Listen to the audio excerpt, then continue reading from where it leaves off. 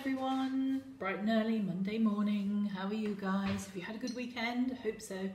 Sun shone a bit, so hopefully you got out and about and um, managed to stretch those legs and you're not just staring at screens all the time, which I know is really tough.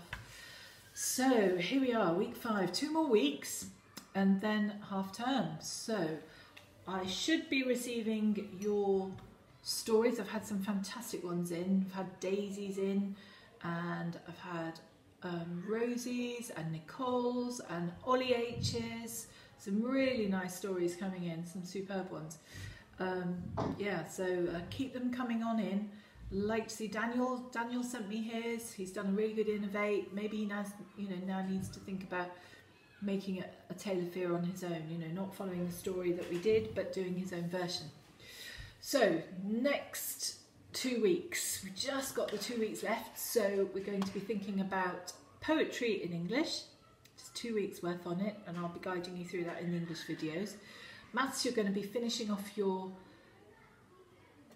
decimals and percentages. I'm just thinking, um, I may send you home the assessments to have a go at. Just see how you do in the assessments.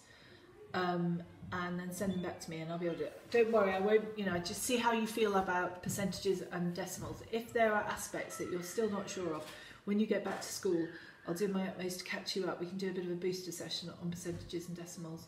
So um, you know you, you'll feel really strongly about it.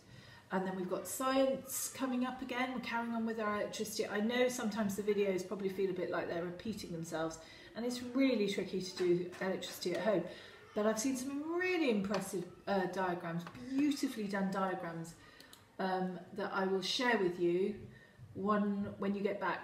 You know, Nicole did a fantastic one, Rosie's done some beautiful ones, you know, really, really quite um, beautifully designed diagrams. So try and keep them as neat as you can. I'd love to see all this work when you get back.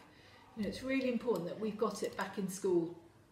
So I'm just finding at the moment Daisy's work um, because I would like to read you some of this.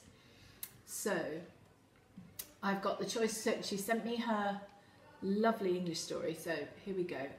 She was on the build-up part of her story. So we're going to read this little bit. Then she realised she was in the clearing of the striped pine and a bird's shriek rang out from somewhere in the treetops. What was that? Rowan whispered to herself, looking around tentatively. Her family would be wondering what she was up to, so she paced up and down, trying to remember the way to go.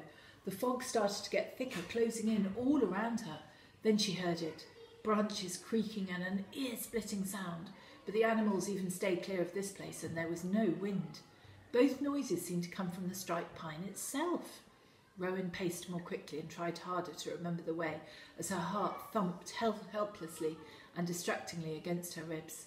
Then she saw it, a flying branch-like creature circling over her head. Black pearl-like eyes gleamed in their sockets and a dagger-like beak penetrated the air. As its wings began to beat faster, it dived, like a person into water, towards her. She saw its needle-covered wings, heard its clicking its beak and smelt its piney smell as it came closer. She was paralysed. Absolutely brilliant, Daisy. I love the vocab. Really good build up of fear and the idea of these these noises slowly building up around her and then that fear paralysed with fear. Absolutely brilliant. So, you know, superb version. Absolutely. I love the pace. You've got the reader, you know, wanting to hear more. Superb. So well done, Daisy. That's really great and that's what I'm looking for, for, from all of you. You know, there are some of you who've written lot, you know, sent me back lots again. Some of you, I haven't seen much writing. Come on, guys, you know what I want. Let's see this writing because when you come back, we're going to have to do tons and tons of it to catch you up if you don't get it done during lockdown. There's no reason why you can't because the videos are all there to help you. It's just like we do in class. So, science in the afternoon, There'll be a bit of jigsaw for you to do as well. So Monday, usual routine, if you can get it done, send back to me as fast as you can. Absolutely fantastic. Well done everyone for quizzing. There are only about two or three people who still haven't managed to quiz and we know why. So well done everyone if you've had a go at a quiz. I've been checking on Accelerated Reader, I've been even checking on TT Rockstars I've been nagging a lot here to keep going on TTs because we've got to beat Rockwell Green, okay?